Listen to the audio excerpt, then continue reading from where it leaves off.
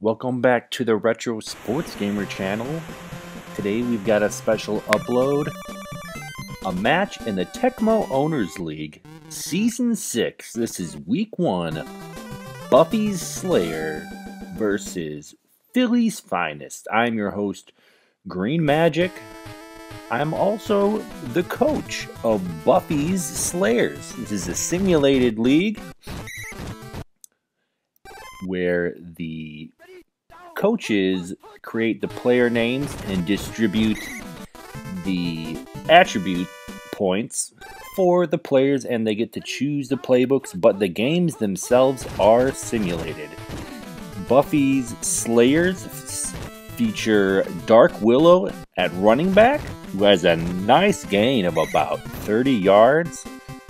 The first play was a called play a blitz that the the Slayers weren't able to get out of. And we've got a fumble, a called play.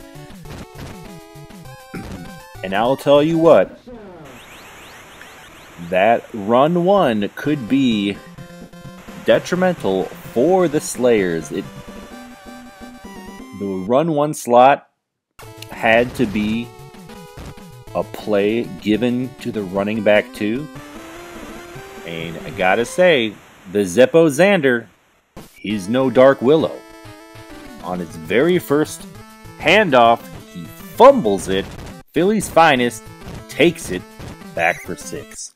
We've got Seth Green Oz with the return, only gets to the 12 yard line. We've got Buffy Summers under center, and she gets five yards on the QB sneak. and we've got a crazy defender just blitzing through everyone. Buffy's able to get the pass off. It is deflected. Another quick pass. There was pressure again. And just like that, on their first full possession, Buffy's Slayers passed the punt.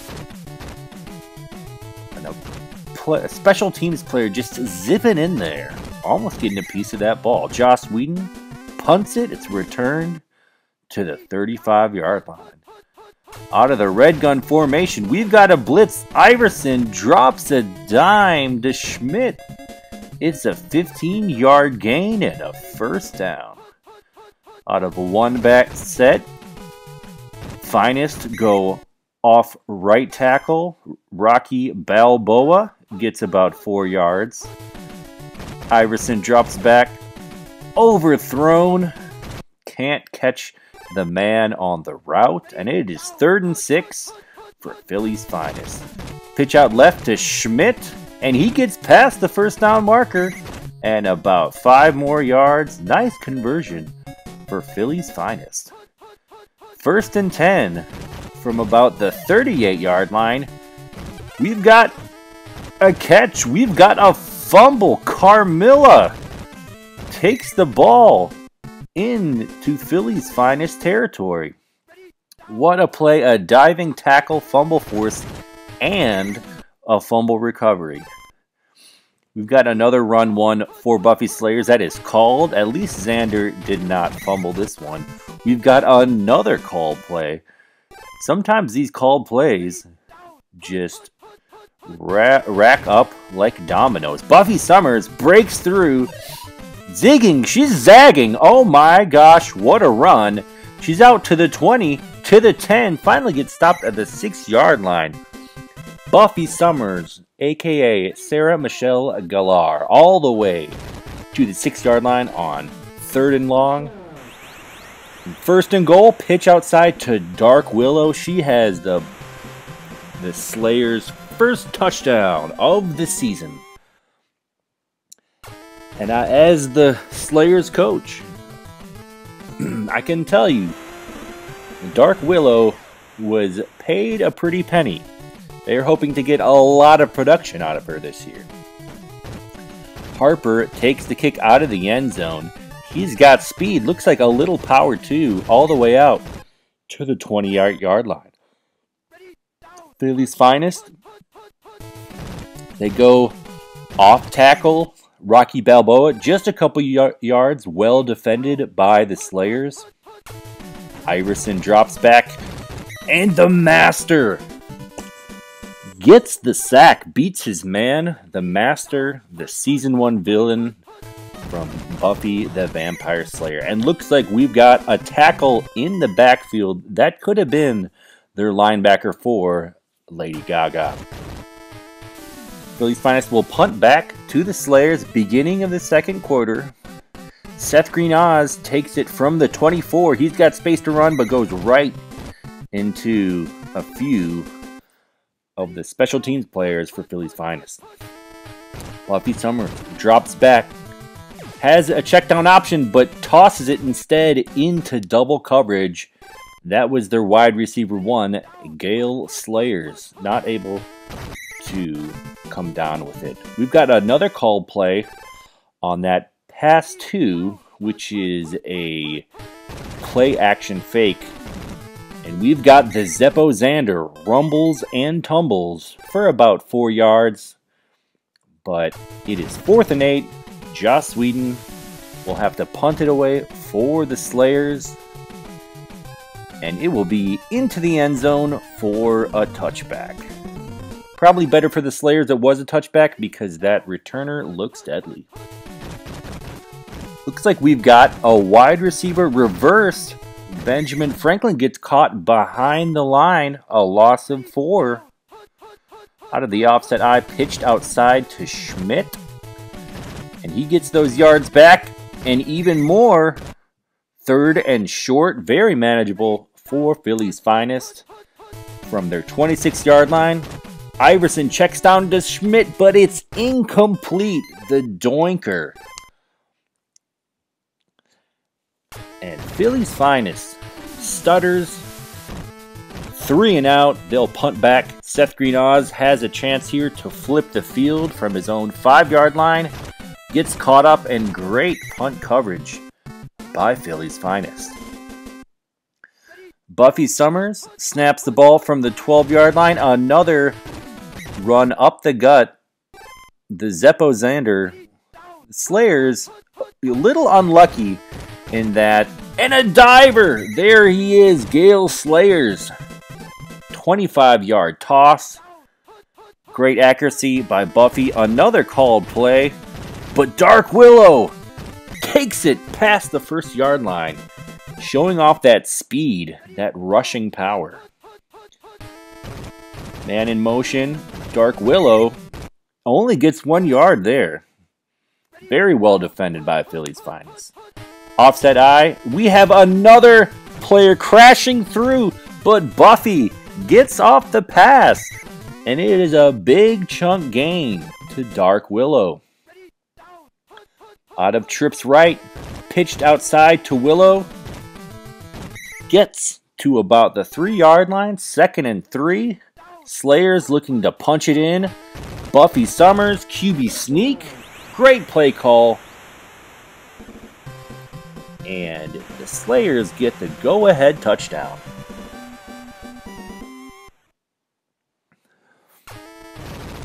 As the Slayers coach, I gotta say, feel good about what this offense is doing. It's, it's a little nerve wracking to see how easily the defensive line is able to to penetrate.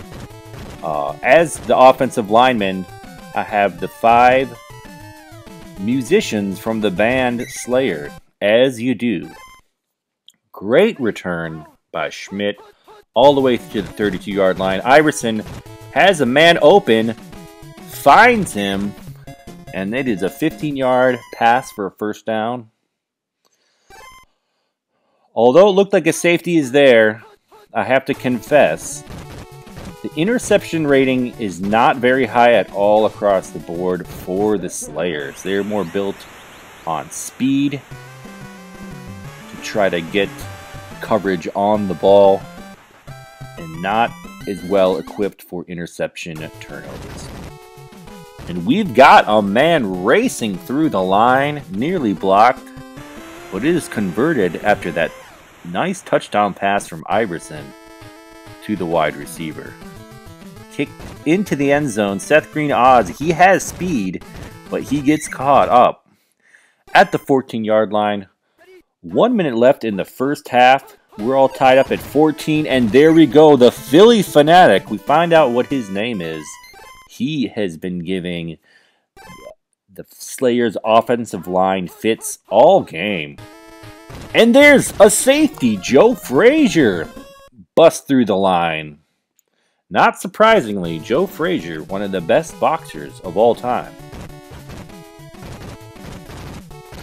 And the Slayers almost catch Harper back at the 30, but he takes it all the way to midfield, but he is injured. Bryce Harper. And we'll have Day as the returner instead. Iverson up the gut. Rocky Balboa. Nice moves. Shaking and baking. The Italian Stallion himself. And we've got a called play We've got Edward Cullen with the sack, the nose tackle for the Slayers. Mr. Robert Pattinson himself winning his one on one. Iverson breaks outside but can't get past that second level. Fourth and 10, and the finest are going for a long field goal. They must have paid their kicker, Tina Fey. She launches it, and it's good. And just like that, Philly's finest gets five points. And unless the Slayers are able to do something miraculous, no, no return for Oz. And we've got a pitch outside to Willow. This could be a home run hitting play. She doesn't look exceptionally fast. She may have gone into bad condition. And there we have halftime in this week one matchup. Philly's finest comes back, scoring 11 unanswered points. They find themselves up 19 to 14 and receiving the ball. They have their backup kick returner in. The slowness shows. Day brings it out just to the 22 yard line. Got an off tackle run. Rocky Balboa gets a decent gain, second and six. Out of the run and shoot formation, we've got a blitz. And Blade is there. The linebacker, too. Wesley Snipes gets the sack. Great protection on this play. And Iverson just does not choose to throw it had a man open for the check down, but couldn't see it, and Swedish Elli, the vampire from the Swedish film Let the Right One In, breaks through the offensive line, gets the sack. Philly's finest, forced to punt. Decent field position for the Slayers. Buffy, with the QB sneak, only gets the one yard. Looked like she had some good blocking, but and she goes yet again. A little bit of stubbornness shown by Sarah Michelle Gellar. And she, looks like she has wide receiver one open as well as the tight end Lina Inverse. And we've got a 15 yard pass. Nice dime dropped by Buffy Summers. And we've got a fumble. Buffy fumbles, but it's picked up by Jeff Hanneman, the band member from Slayer. And we've got another defensive lineman breaking through Flyers Gritty, one of the scariest mascots in all of professional sports. The protection is there. Lina Inverse, one handed catch. Getting close to the first down, but it's five yards away. And out trots Librarian Giles. This could be a little low. Is he able to knock it in? He is not! No! Apparently, I forgot to pay Giles because that looked like a makeable field goal. Schmidt, nice little move, but only gets one yard. Iverson out of the offset I. And he chooses to run. He tucks it third and manageable for Philly's finest from their own 42 yard line. Benjamin Franklin has it. He dips his, he does, he invades about five defenders, gets the first down. What a huge conversion. Sometimes that wide receiver reverse will work for you. Rocky Balboa sprints through the line. Looks like he's about at the marker. And we'll see the measurement. It is a first down. And now the Phillies' finest are rolling. They go back to the wide receiver reverse. And it is blown up. That might have been Blade. Out of the red gun formation, Iverson tucks it, and Blade is there again. He's been playing very good defensive game. Out of the offset I, Iverson has an option up top. He does get rid of it. The dive and the miss. But it's fourth and one. And now Tina Fey will trot out, try to knock down her second field goal. This one looks a little bit high but it rattles in. Tina Fey with the clutch field goal. The finest take an eight point lead, which is very significant. In original Tecmo, eight point is a two score lead. Seth Green Oz showing some moves. Tries to split the last couple defenders, but working really hard to give decent field position to his team, the Slayers. And then again, double covered. Gale Slayers not able to come down with it.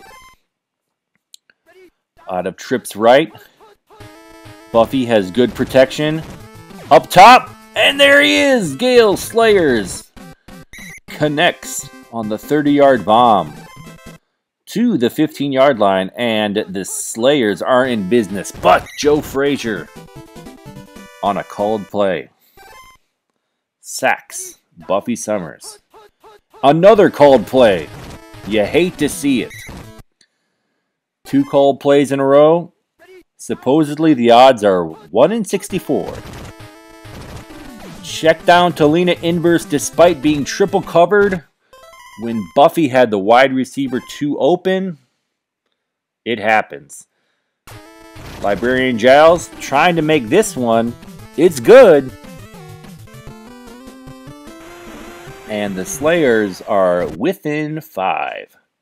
They go for the onside kick. It's up, and it's picked up by Iverson. So that one did not fall the Slayers' way. Philly's finest looking to add to their lead. Nice team tackling by the Slayers. Second and six. Out of the run and shoot. Iverson drops back checks it down to Schmidt. Schmidt has it to the Slayers 28. Philly's finest looking to get that field goal back or more. Rocky Balboa bounces it off tackle, a dive and a miss by a Slayers defender. There's no one else there. Where were the safeties?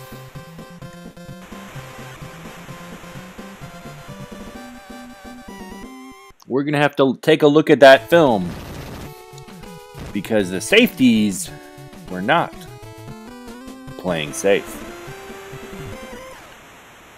Tina Fey kicks it off to the Slayers. Seth Green Oz.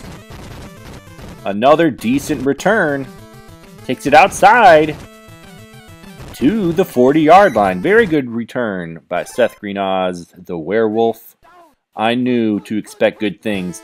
Two defenders blow through the line. Lina Inverse catches it in traffic. Four yard gain. And the Philly Fanatic just taking over this game. Third and 15. Very tough to convert. Buffy has. He had protection but waited too long. It's a sack. Fourth and 24. Slayer's going for it. This will be very difficult to convert, but you got to go for it. The line blows up again, and Philly Fanatic, the MVP of the game, in my opinion. Slayers turn the ball over on downs. Check down to Chamberlain. gets the first down. Looks like he's got some speed too. And Philly's finest, if the game is not over already, they're looking for the dagger. Iverson with the toss. Balboa gets it, makes a move. And there it is. That about wraps it up. Philly's finest comes out swinging. the extra point is blocked, which is exciting, except too little too late. Billy's finest just piles it on in the second half and essentially blowing out Buffy's Slayers. The defensive line was just too strong. And uh, Buffy tosses it to Slayer. I believe that's Justin Slayer. No, it's not. It's Dick Deerslayer. My bad. I should know my own team. And Buffy throws it before the play is developed. Not surprisingly, she's a little skittish back there. Uh, her O-line has not held up very well. She's got a few options here, and Gale Slayers gets it to the 20, to the 10. Nice chunk game, but he fumbles! And it's all for naught. Merrill Hess recovers the fumble. Philly's finest adding insult to injury. Very impressive beatdown today of Buffy's Slayers, who had their moments today. But the offensive line could not hold up. The defense could not get stops late. And it's thrown out of bounds. Good game, Philly's finest. Looks like a solid team. Um, really, in all three phases, looked like they had the, their their game together. Um, Slayer's showing some bright spots. Dark Willow with a good carrier too. Gale Slayer's a couple good catches, but it's not enough. Hopefully their offensive line can improve, or it's going to be a long season for them. and we are looking through the conditions of the players. But I'm going to sign out. Thanks for watching. This is Green Magic. Enjoy the rest of the Tecmo Owners League season. We'll see you next time.